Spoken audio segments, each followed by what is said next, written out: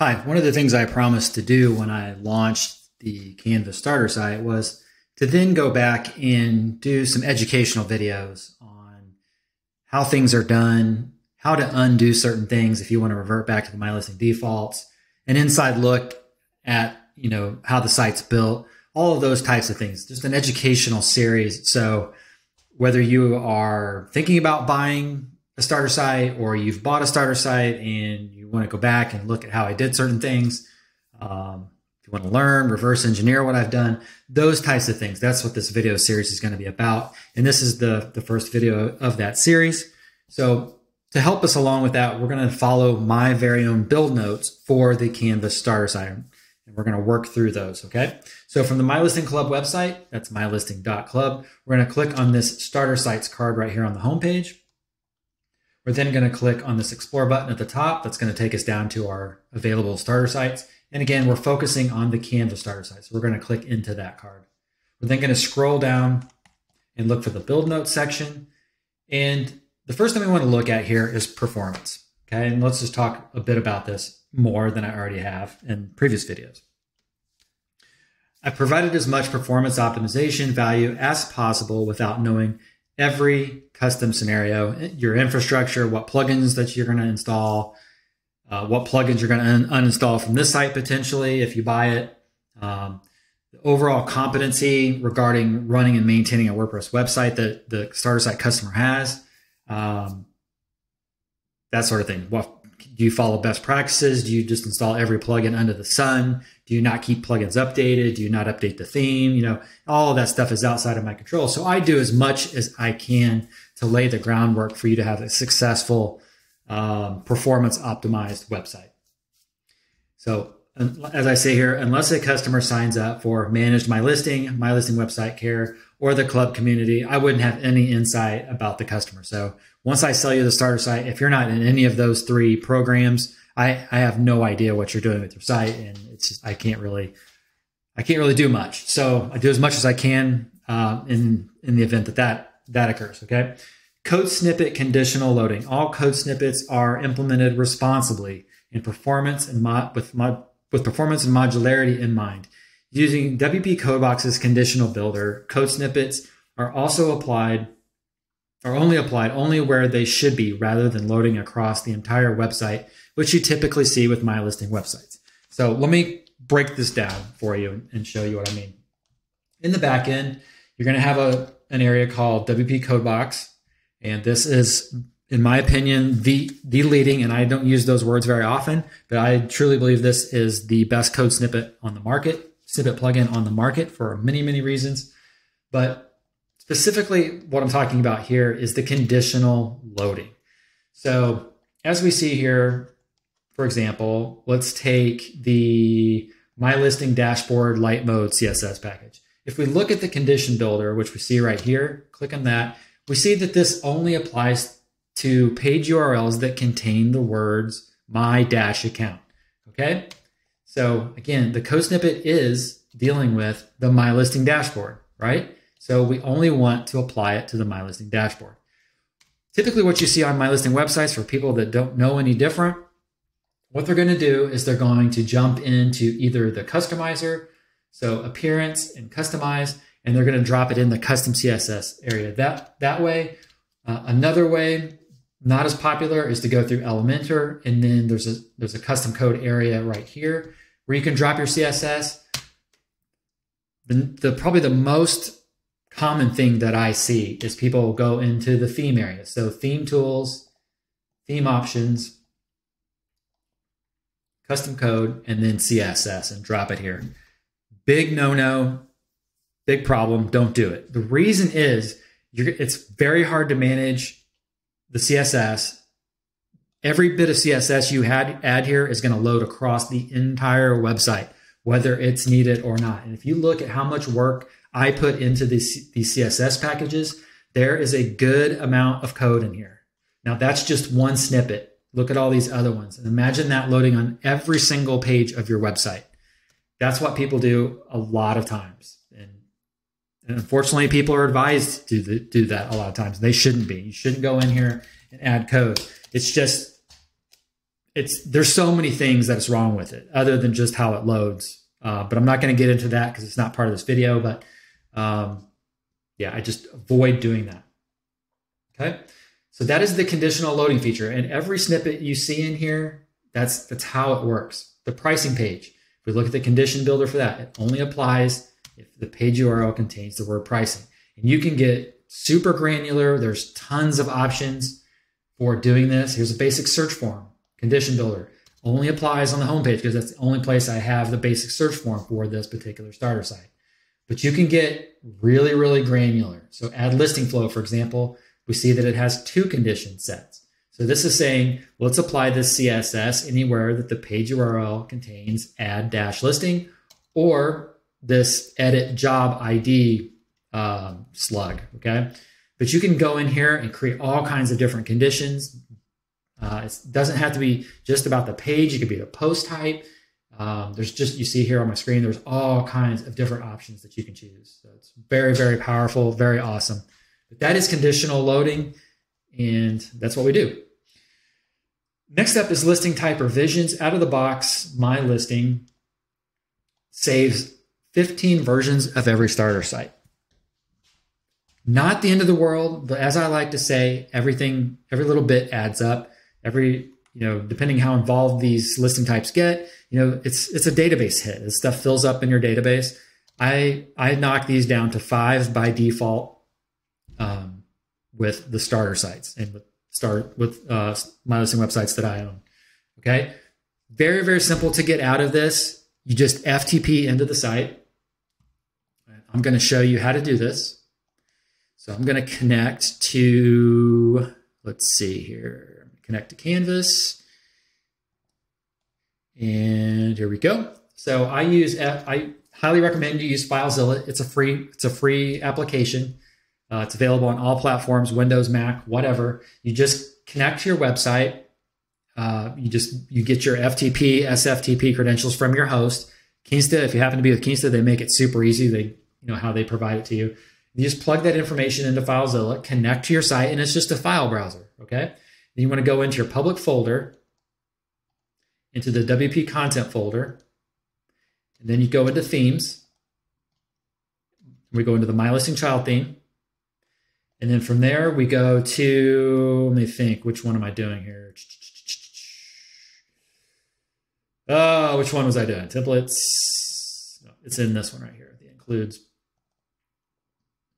not that. Sorry, that's jar in my memory. There we go. Okay, so this is the path you go to. You just drill down into this path, and I've got a guide on how to do this too um, on the club website. But you drill down into this path: public WP content, themes, my listing child theme. Hopefully, well, if you have the starter site, you definitely have the child theme. But hopefully, on your site, um, if you're just following along and you don't have a starter site, you have a child theme.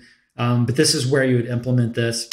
And again, I have a guide for it. But if you have the starter site and your customer and you don't want this and you just want to get back to the defaults, it's very easy. Um, just go because the only thing in this folder is this listing types folder and editing this revisions PHP file. If you don't want those revisions anymore, just delete this entire SRC folder and you're and you're right back, um, right back there. So I'm gonna go ahead and delete this.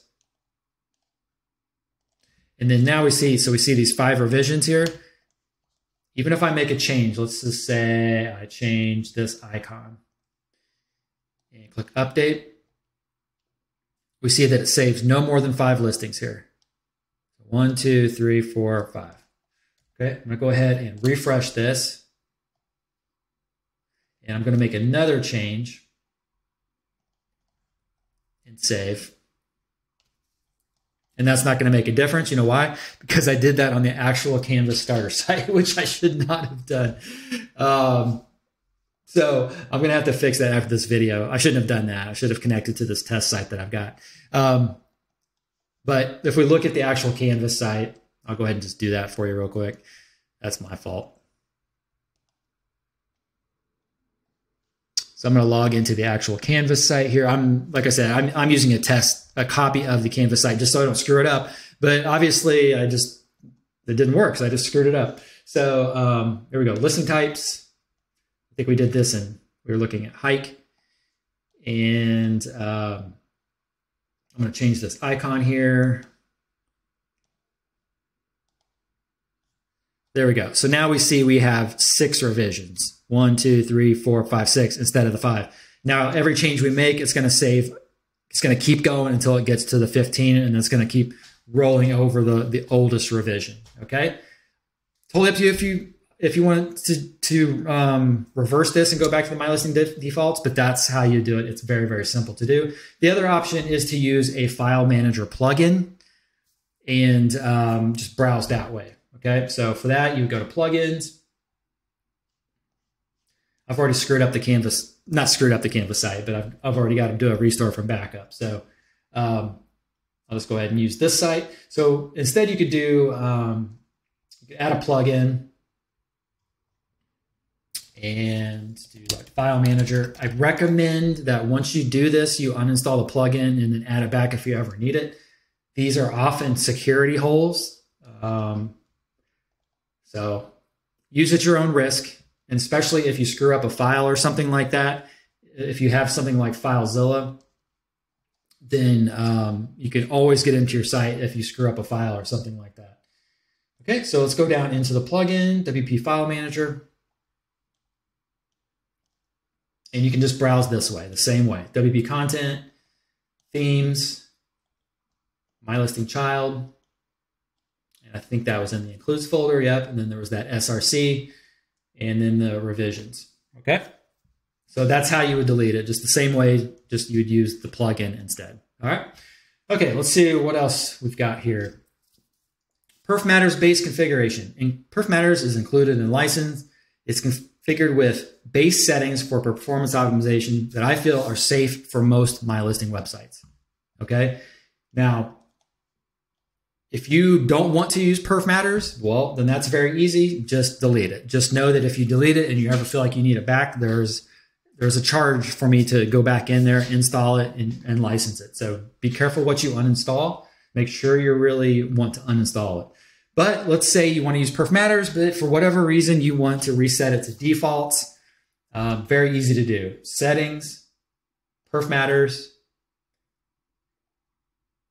tools, and where's the option here? Restore default options. Click this button right here you'll you'll get you'll undo everything that I did, which again is it's not much. It's very safe settings, but if you feel like you want to start from scratch and do your own thing, that's how you do it. Super simple. System fonts. System fonts have been implemented. Switching to a system font stack can be one of the most significant factors responsible for speeding up your My Listing website, as they require no download time by the browser and they look great as a bonus. So with system fonts, I've got a guide on, on this as well, so I'm not going to go too far in depth. But system fonts use the fonts from your system, your computer. So there's nothing to download. It's just they're there and they look great out of the box already. But if for whatever reason you don't want to use system fonts and you want to use like say a Google font or a custom font, um, super simple to do. So just drop over here into WP Codebox and then go into whichever you have going, light or dark mode. That's going to be another separate video, but light mode is the dark mode. So let's assume you're going to use that. You just go into the global light mode code snippet and look for the system font stack entry right here and just delete, delete both of those entries and save your code snippet. And just like that, system font stack is removed from the site. Okay hopefully you're seeing how I build this stuff. It's modular. It's you're not required to use any of the stuff. It's easy to get back to the default. It's easy to do your own thing. Um, yeah. Elementor containers. Elementor containers are used exclusively, boosting website performance by reducing the overall weight of web pages compared to Elementor's older section column elements. So let's quickly look at that. So if I edit a page, let's just edit the edit the blog.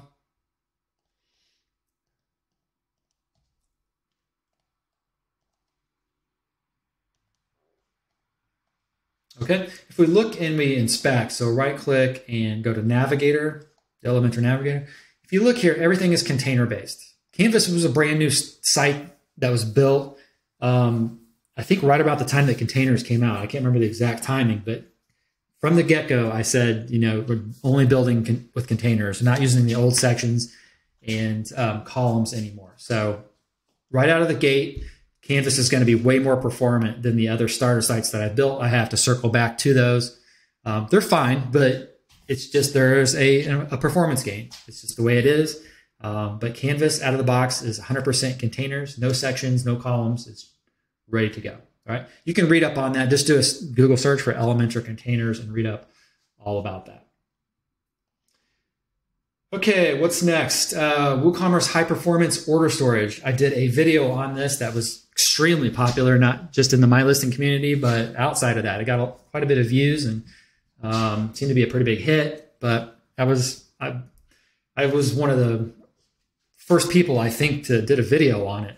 But I pay attention or close, really close attention to to change logs and things like that. So I was on this from the very beginning. But high performance order storage is a new uh, a new way that WordPress, WooCommerce approaches how they store stuff in the database for WooCommerce orders. So by default, this is going to be enabled for you out of the box. And, and um, I got a link here to the video if you want to learn more about this. But for that, it's under, there's nothing you need to do here. It's just, it is the way it is. The way forward. So WooCommerce, settings, and where is that? Advanced, I believe, off the top of my head and features. Yes. Order data storage is high performance order storage that is enabled by default. You again, you don't have to do anything here. There should be no reason in the world that you would ever have to switch back to the old legacy legacy system. But if you want to, you can. But out of the box, it is ready to go for you. Okay, guys, those are just some of the the high point, you know, performance things that I've done for you for this site. And again, the main thing I want to show you outside of just my focus isn't just on building beautiful stuff. Hopefully, it's beautiful functionality and things like that, and building the features in. I think about performance as I do this stuff. Hopefully, you see the value, and hopefully, you also see that it's modular and you, you're not reliant upon what I've done. You're not reliant upon me for anything. It's just you can do your own thing if you want. Um, totally up to you. It's totally totally flexible. All right, guys. Uh, hope hope all is well, and I will see you in the next video. All right. See ya.